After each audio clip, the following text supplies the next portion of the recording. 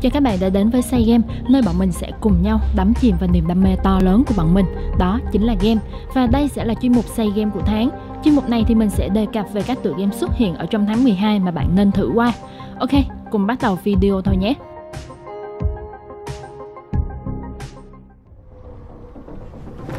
We don't have much time. He will be here soon. Sự kết hợp hoàn hảo giữa Zelda và Assassin's Creed Odyssey. Đây là lời nhận xét của tạp chí Forbes về tựa game Immortal Phoenix Rising, cũng là game đầu tiên trong danh sách mà mình muốn đề cập đến các bạn.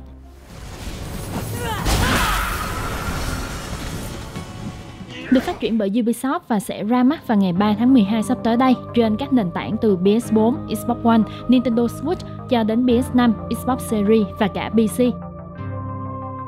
Immortal Phoenix Rising sẽ đưa người chơi chúng ta theo chân nữ Á thần với trọng trách vô cùng lớn lao, giải cứu các vị thần Hy Lạp khỏi lời nguyền bóng đêm. Trong hành trình đầy thử thách này, đồng hành với cô sẽ là những thần thú cùng cô vượt qua các nhiệm vụ khó nhằn, giải những câu đố phức tạp, là mọi cách để có thể làm chủ được vũ khí huyền thoại với mục đích đánh bại Typhon, một titan sở hữu quyền năng tàn bạo nhất ở trong thần thoại Hy Lạp.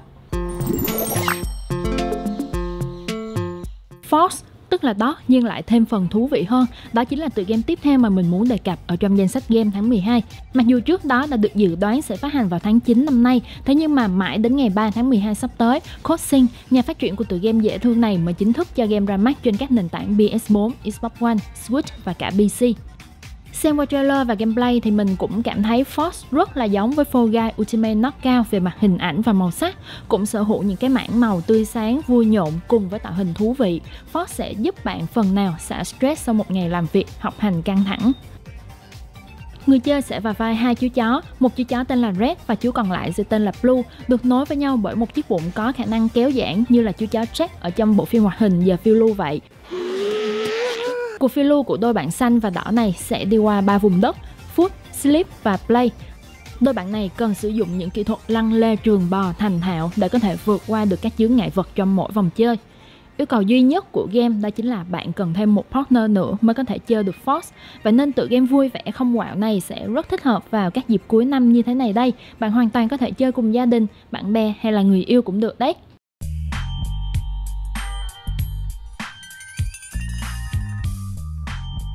3 tháng 12 có vẻ là một ngày rất là đẹp để cho ra mắt game thì phải bởi vì tựa game tiếp sau đây cũng sẽ được ra mắt vào ngày này, trên đầy đủ các nền tảng máy game hiện tại. Oniria Grams chính là cái tên mà mình muốn nhắc đến ở trong danh sách các game nên chơi vào tháng 12 này. Thoạt nhìn qua trailer có lẽ ai cũng sẽ nhầm đây là một tựa game indie chiêu chiêu vì chính cái đồ họa pixel cùng với âm nhạc trong game rất là nhẹ nhàng. Thế nhưng mà bạn cũng đừng để bị đánh lừa dễ dàng như vậy nhé. Oniria Graham nói về Santos cùng Torres, hai thám tử phải đi giải quyết hàng loạt vụ án mạng bí ẩn tại Oniria, vùng đất của những giấc mơ. Mặc dù hình ảnh trẻ con, âm nhạc nhẹ nhàng nhưng mà Oniria Graham vẫn là một tựa game phiêu lưu có cốt truyện dài 6 chương đầy bí ẩn. Nếu bạn là một người yêu thích dòng game cốt truyện, có pha một chút yếu tố bí ẩn ma mị, muốn trải nghiệm tựa game như là một cuốn phim thì Oniria Graham sẽ là lựa chọn thích hợp trong cuối năm này đấy. Là một tựa game kinh dị giải đố ra mắt khá là lâu rồi, thế nhưng mà mãi đến ngày 4 tháng 12 này thì tựa game Duck Hill mới được cho ra mắt bản game hoàn chỉnh trên cả PS4 và Xbox One. Xem qua gameplay của game thì cũng đã đủ thấy được cái độ ma mị, kỳ dị mà nó mang lại cho người chơi chúng ta. Mình thấy gì ở trong game này nhỉ? Ừ, mình thấy một cái đầu lăn từ sàn nhà này sang một sàn nhà khác, một cơ thể bị cụp đầu đi qua lại để giải các câu đố ở trong không gian kỳ lạ kia. Ở Duck Hill, chúng ta sẽ vào vai của bé Lloyd, lạc lối ở trong giấc mơ của chính mình. Cùng với những điều tiêu cực xung quanh thì giấc mơ của Lloyd đã biến thành một cơn ác mộng, ngăn cản cậu bé thức giấc. Trong lúc thực hiện các câu đố để thoát ra khỏi cơn ác mộng này, nhân vật chính của chúng ta đã tìm được cách bẻ cong các định luật vật lý, điều khiển các vật thể trong định luật của giấc mơ. This is dying light. Mặc dù đã qua Halloween, sắp đến dịp lễ Giáng sinh ấm áp, thế nhưng mà các nhà phát triển của chúng ta vẫn rất thích gieo rắc nỗi sợ thông qua game thì phải. Dying Light phiên bản kỷ niệm 5 năm phát hành sẽ có mặt ở trên kệ vào ngày 8 tháng 12 tới đây cho cả hệ máy PS4 và Xbox One. Dying Light có lẽ đã quá quen thuộc với các fan của dòng game kinh dị sinh tồn bắn zombie Excel đã tai đã mắt. Thế nhưng mà đối với những ai chưa biết thì tựa game này đã có mặt được 5 năm rồi, với rất là nhiều nội dung được sản xuất xoay quanh nó. Và nếu bạn đang tìm kiếm một tựa game hành động kinh dị sinh tồn, có cả chế độ multiplayer để có thể chơi cùng bạn bè của mình, nhưng lại không mấy tin tưởng vào các tựa game mới, thì có vẻ là Dying Light phiên bản kỷ niệm này sẽ rất thích hợp với bạn đấy.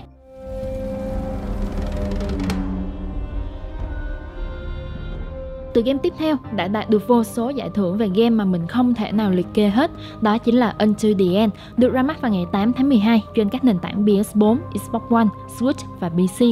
Until the End là tựa game phiêu lưu chiến đấu theo phong cách platform cinematic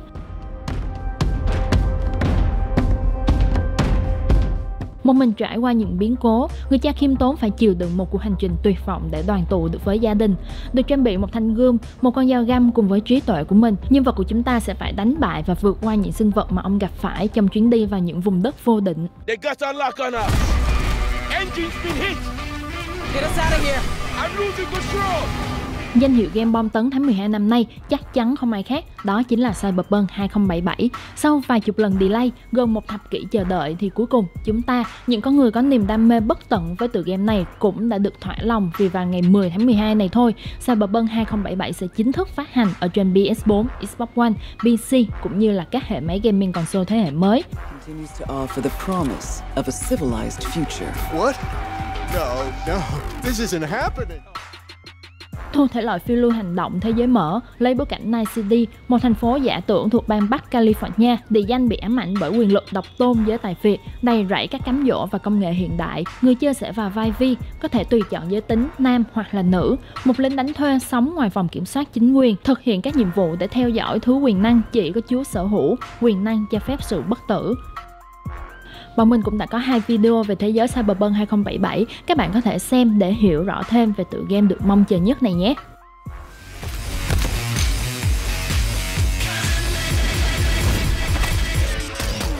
Siêu phẩm game Cyberpunk 2077 cũng đã kết thúc danh sách các tựa game đáng chơi vào tháng 12 này.